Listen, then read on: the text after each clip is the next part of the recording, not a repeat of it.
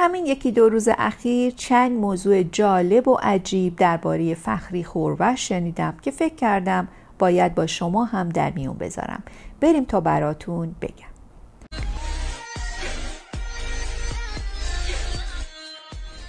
سلام به شما عزیزای دل من ندا هستم و اینجا هم یلو آنکاته. فخری خوربش هنرپیشه صاحب نام و توانای ایرانی چند روز قبل به دلیل کهولت سن در آمریکا درگذشت. خوربش متولد 1308 در کرمانشاه بود. بسیار بچه باهوشی بود و علاقمند به درس و مدرسه.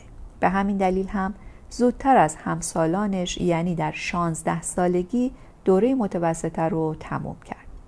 البته همیشه علاقمند به هنر بود اما چون پدر او هم مثل بسیاری از پدران اون دوران متعصب و مخالف محیط هنری و کار هنری بود از این علاقهش حرفی به میون نیاورد. دیپلمش رو که گرفت معلم شد و با شخصی به اسم جواد اسفدی ازدواج کرد و به تهران رفت. خونه شوهر محدودیت های خونه پدری رو نداشت و فخری جوان که در اون زمان به اسم فخری اسفدی شناخته می‌شد در نمایش دست های آلوده سارتر به روی صحنه رفت. تو این نمایش حسابی درخشید.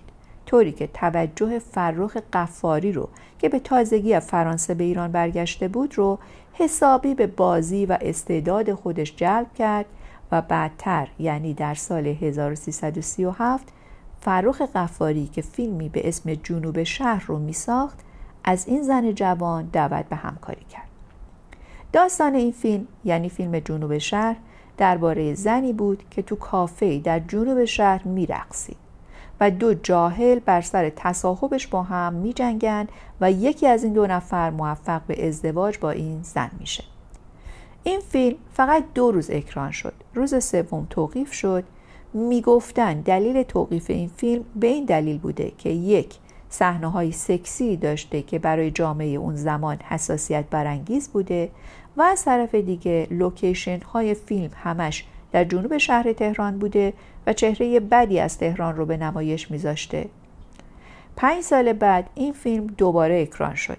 البته گویا بعضی از صحنه های سکسی فیلم حذف شده بود و سکانس های جدیدی بهش اضافه شد مبنی بر اینکه این زن بعد از ازدواج ساکن شمال شهر تهران میشه و چهره شهر با این لوکیشن های جدید شمال شهر کمی تلطیف شده بوده.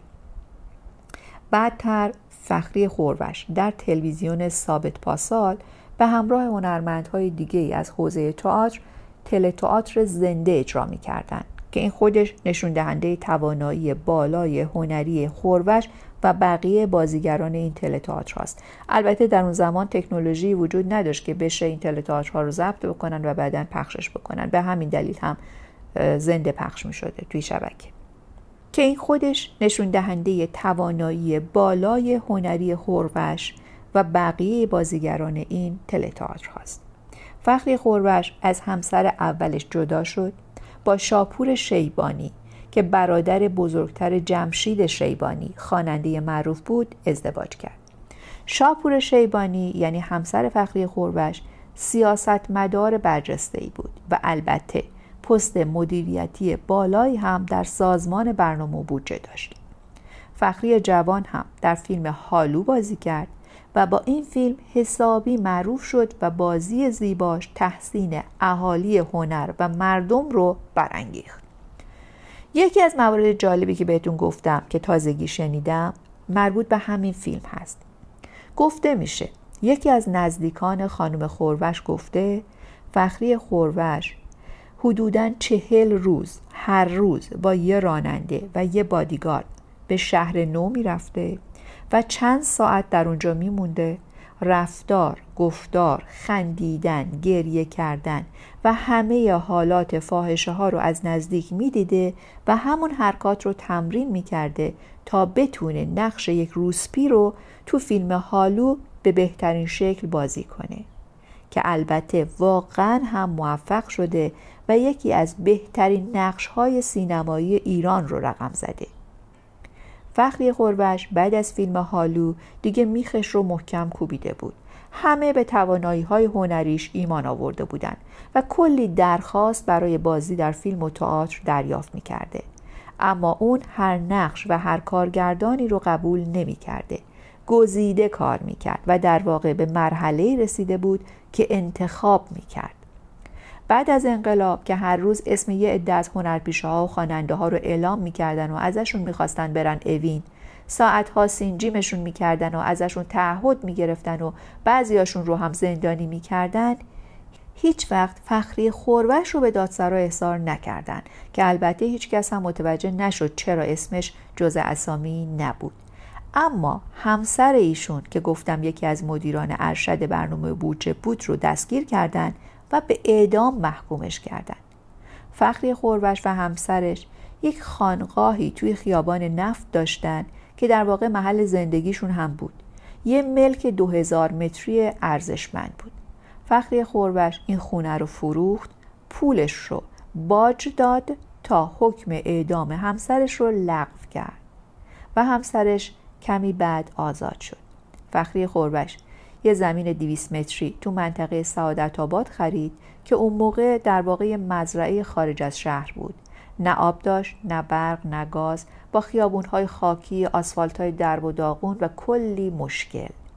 ولی فخری قربش همه این مسائل رو سالها تحمل کرد و تا زمانی که ایران رو در سال 85 به مقصد آمریکا ترک کرد توی همون خونه زندگی می‌کرد. و میگن شبهای جمعه با دوستاشون قرار بازی ورق داشتن هر هفته. البته به قول این ارزشی ها دوره قمار داشتن. فخری خوروش سال 1385 به همراه همسرش به آمریکا مهاجرت کرد. در آمریکا فعالیت هنری نداشت. اما هر از چند گاهی فیلم و عکسی ازش در فستیوال یا میهمانی ها پخش می شد. همسر فخری خوروش شاپور شیبانی تو سال 1400 فوت کرد که حرف و حدیث های وجود داره مبنی بر اینکه علت فوت ایشون ابتلا به کرونا بوده. فخری خوروش هم کمتر از دو سال بعد از همسرش در سن 94 سالگی درگذشت. یادش گرامی و امیدوارم به زودی کشورمون جایی مناسب برای زندگی همه مردم باشه جایی برای یک زندگی بی دغدغه و امن. لطفا لطفا لطفا subscribe این کانال و کانال کتاب کده رو و زدن زنگوله و لایک و کامنت رو فراموش نکنین چون خیلی به حمایت و کمک تک تک شما نیاز دارم. خیلی دوستتون دارم و میبوسمتون هزار تا.